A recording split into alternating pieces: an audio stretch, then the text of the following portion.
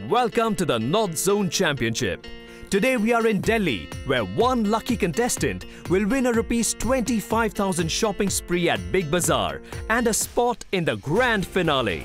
मेरा पूरा नाम पारुल गुप्ता है और मैं एक योगा टीचर हूँ और सोशल वर्कर हूँ मेरी फैमिली हमेशा सपोर्ट करती है मेरे बच्चे बहुत अप्रिशिएट करते हैं खाने को वो बाहर का नहीं पसंद करते उनको मम्मी के हाथ का खाना चाहिए Uh, my name is Seema and I'm working with an MNC company in the finance background.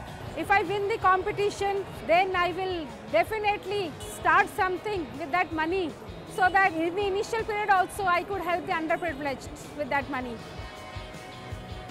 मेरा नाम अनीशा है और मैं वैसे तो हाउस वाइफ हूँ बट पार्ट टाइम में कोचिंग्स और ट्यूशन्स लेती हूँ एक घर में रहना और एक प्लेटफॉर्म पे जाना किसी भी इंडियन लेडी के लिए बहुत इंपॉर्टेंट होता है। एक उनको प्लेटफॉर्म मिलना बहुत ज़रूरी है and I am very happy कि बिग बाज़ार ने ऐसा कुछ कंडक्ट किया है, ऐसे कॉम्पिटिशन्स रखे हैं, जिससे नॉर्मल हाउस को एक प्लेटफॉर्म मिले और वो एक करियर ऑप कर सके।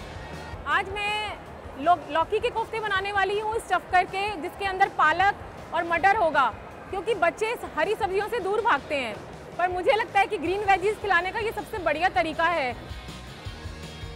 I am excited as well as nervous too because is a great chef celebrity chef तो obviously I am going to be nervous on that part but I am excited to how is going to remark me how is going to जज me whether he should like it or not. This is my excitement, whether he would like it or not.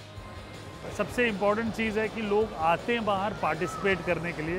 वो देख के मुझे बड़ी खुशी होती है। मुझे लगता है ऐसे जितने कंपटीशन होंगे, उतना ज़्यादा फ़ूड को बढ़ावा मिलेगा और उतना ज़्यादा होम शेफ्स बाहर आएँगे, क्योंकि बहुत सारी कलाकारी जो है होम शेफ्स के अंदर छुपी हुई है, जो प्रोफेशनल शेफ्स को भी नहीं पता ऑनेस्टली और ये हम भी कहीं ना कहीं मौका ढूंढते हैं कि ये चीज़ हमें देखने मिले, ताकि हम भी कुछ इससे इंस्पायर होके अपनी कुकिंग में वो इस्तेमाल करें। बिग बाज़ार बहुत अच्छा मुझे लगता है इनिशिएटिव ले रही है।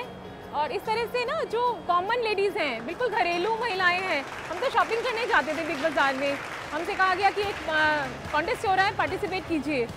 तो जस्ट मैंने पार्टिसिपेट किया, लेकिन दिल से बनाया खाना। तो मेरी जैसी बहुत सारी ऐसी लेडीज़ हैं सुपर शेफ हैं वो घर की सुपर मॉम है। मुझे लगता है कि उनको भी फिर आगे इतने सारे मौके मिलेंगे, आगे बढ़ने के।